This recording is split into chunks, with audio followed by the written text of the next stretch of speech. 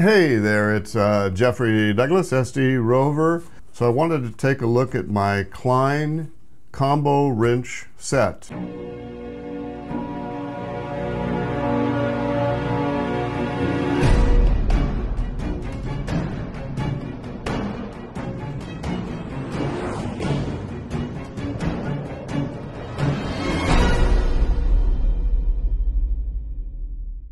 This is in metric since the Land Rover obviously has metric. So one nice thing about this kit is it does come with this case. And as you open it up, um, what I like about it, it's um, there. As you get older, it's difficult to see uh, numbers as well, and so these numbers are very prominent, and uh, don't have to be uh, worried about where they are. And it's, it's a pretty simple set. So there's 8, 10, 12, 13, 14, 15, 17, and 19.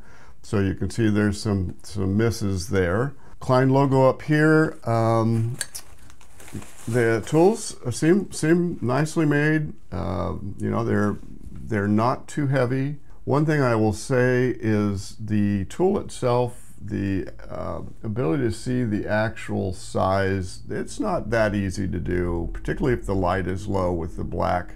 Um, the, the end that's uh, closed, the ratchet end, uh, shows you the direction of the tool, so which way to go and which way to go to take it off. So that's, that's pretty nice. Um, like them so far. Um, again, this is first impressions, not sponsored, so I will let you know as I move forward if this was a good choice or not.